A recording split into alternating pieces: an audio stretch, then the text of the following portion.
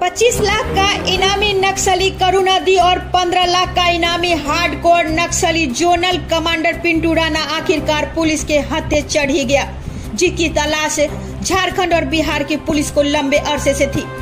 दरअसल किसी बड़ी घटना को अंजाम देने के लिए खैरा थाना क्षेत्र के गिद्धेश्वर जंगल में हार्डकोर नक्सली करुणादी एवं पिंटू राणा जुटे थे, जिसे पुलिस ने गिरफ़्तार कर लिया है।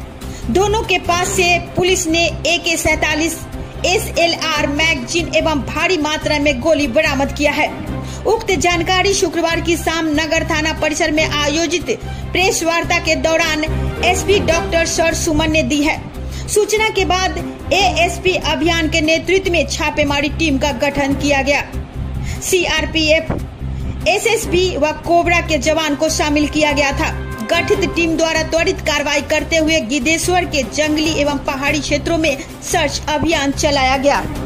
इस दौरान बिहार और झारखंड में 25 लाख का इनामी करुणा दी एवं जोनल कमांडर 15.50 लाख इनामी हाईकोर्ट नक्सली को गिरफ़्तार कर लिया गया है, जिसके निशानदेही पर छिपाए गए एक ए के सैतालीस, एक एस एल आर तथा ए के सैतालीस का एक सौ उनसठ गोली तथा एस एल आर का अठास राउंड गोली बरामद किया गया।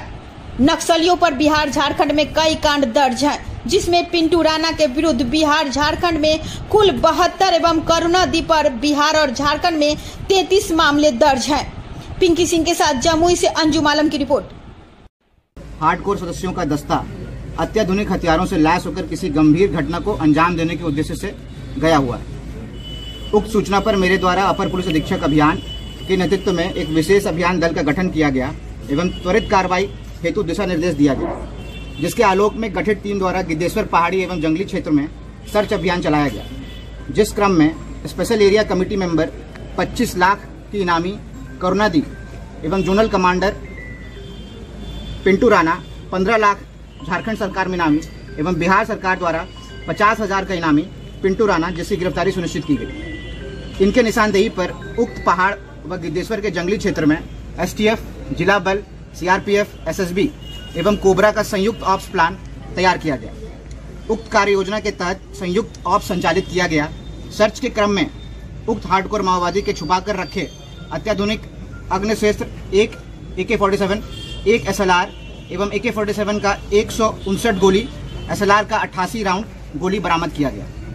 उल्लेखनीय है कि कुख्यात नक्सली कमांडर मतलू तुरी के पुलिस मुठभेड़ में मारे जाने के बाद नक्सल संगठन के शीर्ष नेतृत्व एवं संगठन के अन्य हथियार बंद दस्ता के सदस्य पुलिस एवं अर्धसैनिक बल सीआरपीएफ, एसएसबी, कोबरा द्वारा क्षेत्र में निरंतर कार्रवाई एवं भारी दबिश बनाई जा रही थी, जिसके कारण ये काफ़ी दहशत में थे और वे सभी गिद्धेश्वर पहाड़ी क्षेत्र से अन्यत्र भागने के फिराक में थे।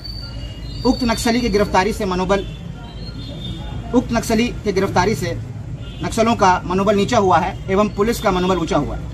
उक्त कार्रवाई से बिहार एवं झारखंड राज्य में नक्सलियों की गतिविधि पर काफ़ी हद तक अंकुश लगेगा। गिरफ़्तार किए गए नक्सलियों के विरुद्ध बिहार एवं झारखंड में कई कांड दर्ज हैं। अब तक से ज्ञात पिंटू राणा के विरुद्ध बहत्तर कांड एवं करुणादी के विरुद्ध तैंतीस कांड बिहार एवं झारखंड में दर्ज। गिरफ़्तार अभियुक्त का नाम करुणादी एवं पिंटू राणा बरामदगी एक के सैतालीस एक एस एल आर एक ए के सैतालीस की मैगजीन दो एस एल आर की मैगजीन एक एक के सैतालीस एक सौ उनसठ राउंड एस एल आर अठासी राउंड।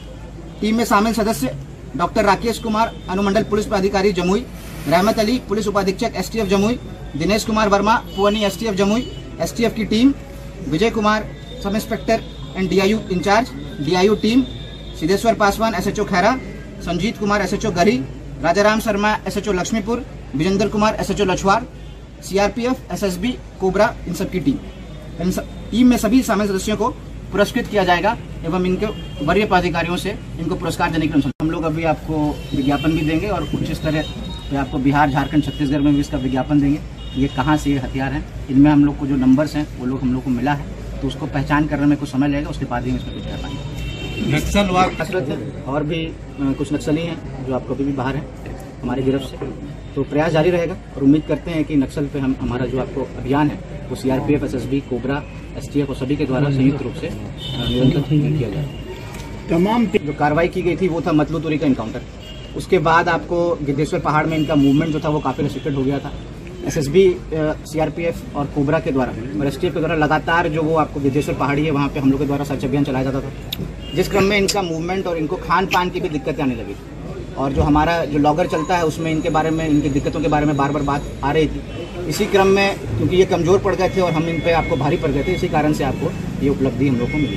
सर ये इतना और देखिए ये तो निश्चित बात है कि इसके बाद नक्सल बैकफुट पे चले जाएँगे और इसका पूरा मैसेज आपको पूरे देश में जाता है। तो उम्मीद करते हैं कि आगे भी हम लोग इसी तरह से कार्रवाई करेंगे और बिहार झारखंड को नक्सल फ्री बनाएँगे। वैसे नक्सलियों लोग गत सात महीने से सीआरपीएफ एसएसबी जिला पुलिस एसटीएफ हम सभी लोग निरंतर आप देख रहे होंगे बिहार में अन्यत्र जगहों पे भी काफ़ी रिकवरी हो रही है और गिरफ्तारियाँ हो रही है। तो कंबाइंड एफर्ट चल रहा है और इनकाउंटर्स भी हो रहे हैं और सरेंडर्स भी हो रहे हैं। तो आप ये नोट कर सकते हैं कि हम लोग दोनों तरीके से काम कर रहे हैं। मानवाधिकार को देखते हुए भी हम लोग उस पर विचार कर रहे हैं, लोगों को सरेंडर भी कराने की बात कर रहे हैं, लोगों को गिरफ़्तार करने की भी बात कर रहे हैं। और आपको अगर जो फायरिंग करता है, जो आपको वायलेंट मीन्स को अपनाता है तो उनके खिलाफ हम लोग उसी स्तर से कार्रवाई भी करते हैं। तो उम्मीद है कि हर तरह के नक्सली के लिए ये एक संदेश है कि कौन किस तरह से मतलब रास्ता अपनाना चाहता है और आगे हमारे समक्ष आना चाहता है। सर, पाँच, तीन सर।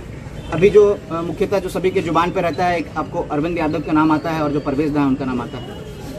इन दोनों से भी हमारी अपील रही कि ये दो भी आपको सरेंडर कर जाएँ। या आपको अगर ये नहीं मानते हैं तो इनके विरुद्ध जो पूर्व में हम लोगों ने अभी कार्रवाई की विगत छः महीनों में इनके विरुद्ध पूरी तरह से हम लोग कार्रवाई